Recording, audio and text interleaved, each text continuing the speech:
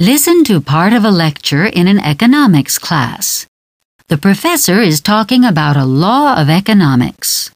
Today we are going to be talking about one of the most basic laws of economics. Nothing of value is free. Sometimes this is dubbed TANSTAAFL. The word TANSTAAFL is formed from the initials of the statement, there ain't no such thing as a free lunch. What this means is that everything that has value must be paid for in currency, labor, or something else. Not only do people have to pay for everything that has value, but governments also have to. Governments have a lot of expenditures public buildings, roads, their military, etc. And to get the necessary money, they tax their citizens. Nobody likes to pay taxes, and history has shown us that when taxes get too high, people eventually revolt and overthrow the offending government. To avoid raising taxes, a government must find another way to deal with the problem of getting money to meet its expenses. Let's look at the Romans. The Roman government taxed its citizens in order to pay for the expenses of running such a vast empire. It became apparent over time that if it raised taxes further, it risked provoking unrest. So the leaders came up with the idea of clipping the denarius, a coin made of 94% silver. When the tax collectors brought in people's taxes paid in silver coins, the Roman treasury clipped or shaved the edges off the coins. The clippings were minted into new coins. For a time, this gave the government the money necessary for its budget. But it did not take the Roman people long to realize that some of their coins were missing silver.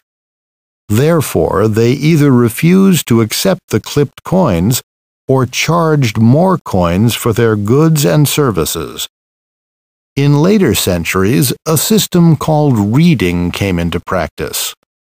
A reeded coin has grooves along its edge, making it easy to see whether or not clipping has taken place. But since the Roman government still needed money and clipping no longer served its purpose, the Roman treasury started melting down coins and reminting them with a mixture of base metal such as copper. However, each time a coin was melted down and reminted with a base metal mixture, the percentage of precious metal became less and that of base metal more.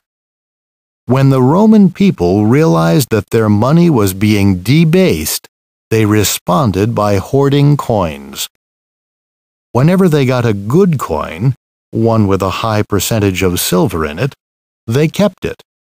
They spent only bad coins, those with a low percentage of silver. This behavior is explained by Gresham's law, which states that bad money drives good money out of circulation. When debasement happens, money loses its value and prices inevitably rise. What does TANSTAAFL mean? Why did the Romans start to clip coins? Why did the system of reeding come into practice? The professor briefly explains a process. Summarize the process by putting the events in order.